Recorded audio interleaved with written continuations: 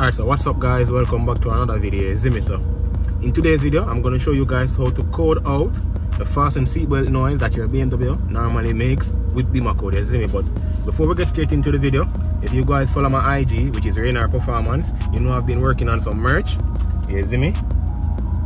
Performance, you me? So if you want the link on the merch them, you me, you can just hit me up on my IG, you? And uh, also, the catalyst downpipe finally arrived. You see me, just a little sneak peek.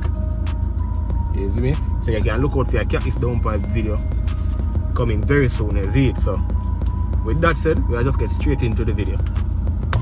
Alright, so if you guys don't know what the seatbelt sound is, I don't know how good you can hear it, but you see me? It's literally nagging me right now, you see it? And it won't stop.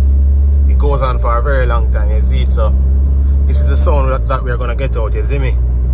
Alright, so as you know, you're gonna need your BimmerCode app, you see me?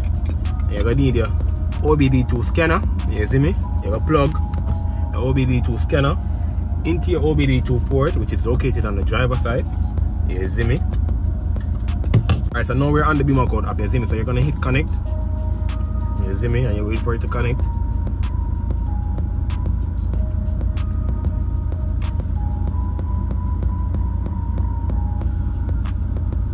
Then you pick the type of car you have. And it's a BMW 4 Series F36 and you press continue. You see me and you make it load and do it thing. You see me? So once it's inside I'll get back to you guys. You see me? Right so now we're in. So you're going to go into advanced crash safety module. You see me? And then you wait for that to load and whatever. And once it once it's in I'll get back to you guys. You see me? Yes yeah, so now we're in. So as you can see all of mine is not active you see me because i code out my own you see me so you're gonna go on seatbelt reminder driver seat not active go back. Seatbelt reminder passenger seat not active go back. Seatbelt indicator driver seat not active go back. Seatbelt indicator passenger seat not active go back. Seatbelt indicator rear seat not active go back seatbelt reminder duration not active go back. That's all you're gonna need. Oh an initial seatbelt reminder after start not active go back. Right? And once you put all of those no act not active you're gonna press code in the top right hand corner.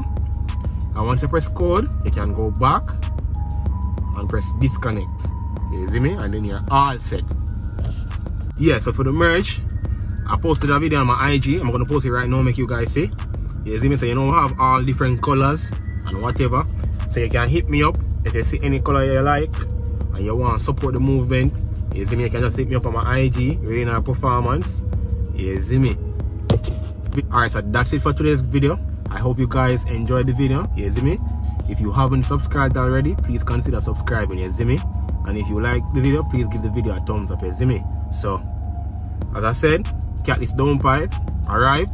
You see me you can expect the catalyst downpipe video coming very soon you see me? So with that said i'll catch you guys in the next video